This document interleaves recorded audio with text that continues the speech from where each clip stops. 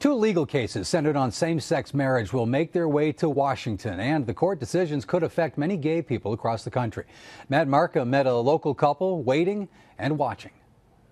Hearings at the nation's capital will be listened to closely in the Capital District by at least one same sex couple contemplating marriage since it was legalized in New York last year. It's no, uh, you know, uh, out of the equation that we wouldn't get married. We're just waiting to see how all of this is going to work out. California voters approved Proposition 8, which bans same sex marriage there. The highest court will argue its constitutionality. As a matter of law, we're arguing that this is something that belongs to the people and the Democratic democratic process uh, to, to decide whether to, to redefine fundamental institutions in society.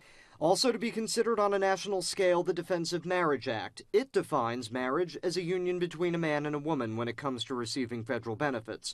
That decision could impact what Domingo and Jeffrey would be entitled to. I've loved the same person for 17 years. Why shouldn't my government recognize that we pay taxes, we volunteer in our community? Despite New York's legalization, questions persist about the rights gay couples have when it comes to health, pensions, and taxes.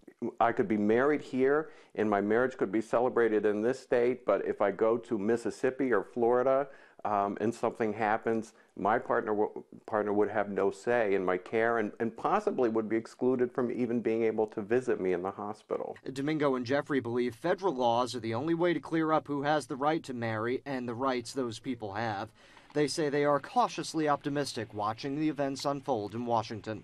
Matt Markham, CBS 6 News. The Supreme Court will likely begin hearing arguments in March. New York, Vermont, and Massachusetts are among nine states where same sex marriage is either legal or soon will be.